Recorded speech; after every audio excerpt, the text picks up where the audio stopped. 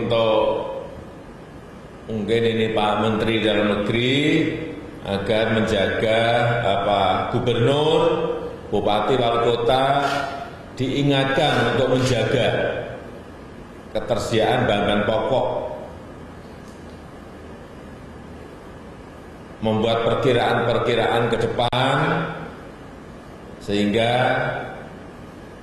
kita bisa memastikan tidak terjadi kelangkaan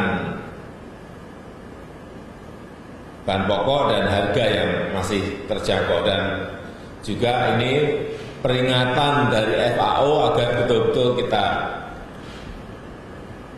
perhatikan kita garis bawahi mengenai peringatan bahwa pandemi COVID-19 ini bisa berdampak pada kelangkaan pangan dunia atau krisis pangan dunia. Ini betul-betul harus kita pastikan. Mungkin panen yang ini baik, tetapi panen nanti yang apa pada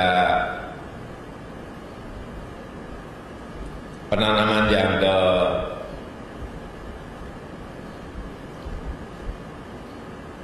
bulan Agustus, September, yang kedua nanti betul-betul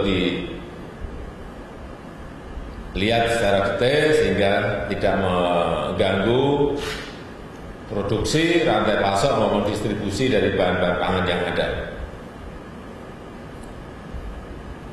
Kemudian juga yang keempat yang berkaitan dengan dampak sosial ekonomi. Saya minta Menteri Sosial, Menteri Keuangan juga minggu ini semuanya harus bisa jalan. Ini sudah sangat sangat mendesak sekali baik yang berkaitan dengan kartu prakerja, baik yang berkaitan dengan PKH, baik yang berkaitan dengan bantuan sosial langsung, baik berkaitan dengan kartu sembako, baik yang berkaitan dengan pembagian sembako di Jabodetabek, semuanya harus jalan. Minggu ini, saya turun ke bawah, kemarin saya melihat bahwa